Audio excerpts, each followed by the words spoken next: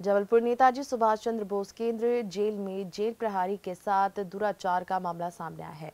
उप जेलर प्रशांत चौहान पर 2015 में जेल प्रहारी के साथ दुराचार का आरोप है।